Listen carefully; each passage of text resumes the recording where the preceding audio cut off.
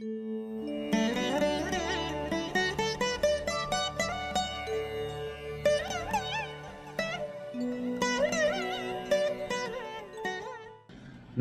அனைவருக்கும் வணக்கம்.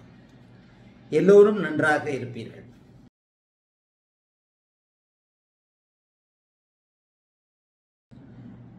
ஒருவருடைய ஜாதகத்தில் எந்த கிரகம் அதிக சுபத்துவமாக இருக்கிறதோ அந்த கிரகத்தின் எண்ணங்களும் தொழில்களுமே அவருக்கு அமையும் அப்படிங்கிற என்னுடைய சுபத்துவ பாவத்துவ சூட்சும வலு விதிகளின் அடிப்படையில். இந்த விதி நூறு சதவீதம் சரியாக இருக்கும்.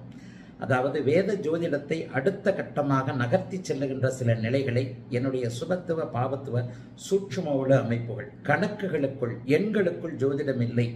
நான் சொல்லுகின்ற சுபத்துவ பாவத்துவ சூட்சுமவளு அமைப்புகளில் தான் நீங்கள் பலனை அறிய முடியும் என்பது. இவ்வளோ பேர் ஃபாலோ பண்ணுறீங்க அப்படின்னாலே அதனுடைய உண்மை தன்மை அமைப்புகள் தான் கடந்த ஞாயிற்றுக்கிழமை அல்லது சனிக்கிழமைன்னு நினைக்கிறேன்.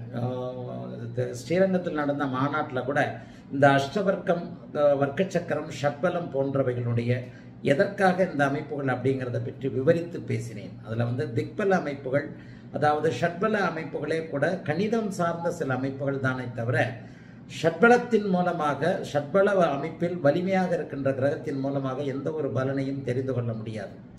அதே போலவே தொழில் அமைப்பில் பாரம்பரிய ஜோதிட விதிகளுக்கு இதுவரைக்கும் முறையான விதிகள் இல்லை. ஆயினும்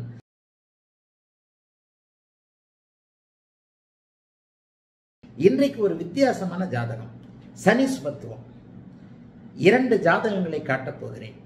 இருவருமே சுமார் ஆறு மணி நேரம் வித்தியாசத்தில் பிறந்தவர்கள். ஒருவர் அதிகாலையில் பிறந்திருக்க இன்னொருவர் ஒரே நாளில் ரெண்டு பேரும் பிறந்திருக்கிறாங்க. காலையில் பன்னிரெண்டரை மணிக்கு ஒருத்தர் பிறந்திருக்கிறாரு. அன்றைக்கு மாலை ஆறு மணி எட்டு நிமிடத்திற்கு ஒருவர் பிறந்திருக்கிறார். ஒரே நாளில் கிரகங்கள் பெரும்பாலும் பார்த்தீங்கன்னா ஒரு நாளில் பிறக்கின்றவருடைய ஜாதகங்கள் ஒரு வாரத்தில் பிறக்கின்றவருடைய ஜாதகங்களில் பார்த்தீங்கன்னா மிகப்பெரிய அளவில் ஒரே கிரகம் தான் சுபத்துவமாக இருக்கும். அதுவும் வருட கிரகமான சனி சுபத்துவமாக ஒரு மிகப்பெரிய நிலையில் குருவோடு சேரும் பொழுது அவருடைய தொழில் சார்ந்த அமைப்புகள் தான் நிறைய நிறைய அமைப்பு இருக்கும். அவர்கள் அனைவருமே சனியின் தொழில்களில் தான் இருப்பாங்க. ஆனால் சனிக்கென்று கூடுதல் தொழில்கள் இருக்கின்றனவே சனின்னு எடுத்துக்கிட்டாலே நீங்கள் மிக டக்குன்னு உங்களுக்கு நினைவுக்கு வருவது என்ன? இரும்பு. பழையவைகள். செகண்ட் ஹேண்ட் என்று சொல்லப்படக்கூடிய இரும்பு கழிவுகள் வீணான குப்பைகள் சொல்ல தயங்கக்கூடிய தொழில்கள் சொல்ல தயங்கக்கூடிய அமைப்புகளில் சில தொழில்கள் வருது இல்லையா? அந்த மாதிரியான அமைப்புகளில் சனியின் நிலைகள் பருகக்கூடாத பானங்கள் மது சாராயம் பிராந்தி விஸ்கி இவைகள் போன்றவை ஆசிட்டு குடிக்கக்கூடாத திரவங்களை கூட சனியை தான் சொல்லுகிறேன். ஆகவே சனியின் காரகத்துவங்கள் ஏராளமாக இருக்கக்கூடிய ஒரு நிலையில என்ன விதமான சனியின் பொதுவான அமைப்புகள்? ஒரு நாளில் பிறந்தவர்கள் அத்தனை பேருக்குமே ஒரே மாதிரியான தொழில்கள் அமைந்து விடுகிறதா? இல்லை இல்லையா? இப்போ அபூர்வமாக ஒரே நாளில் பிறந்த இரண்டு வேறு வேறு லக்னங்களை கொண்டவர்களுடைய ஜாதகம் கிடைத்திருக்கிறது. இங்கே இருவருக்குமே ஜாதக அமைப்புல சனிதான் சுபத்துவமாக இருக்கிறார். அப்ப அந்த சனிதான் சுபத்துவமாக இருக்கிறார்னா சனியினுடைய தொழில்கள் என்னுடைய விதிப்படி கண்டிப்பாக அமைந்தே தீர வேண்டும்.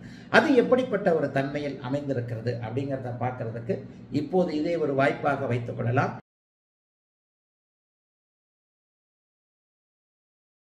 கும்ப லக்னம் கும்பராசி பௌர்ணமி யோகத்தில் ஆவணி சதயம் நட்சத்திரத்தில் பிறந்திருக்கிறார். இங்கே சந்திர அதியோகத்தில் புதனும் சு புதனும் குருவும் இருக்கிறார்கள். சுபர்களாகிய இவர்கள் இருவரும் இருக்கிறார்கள்.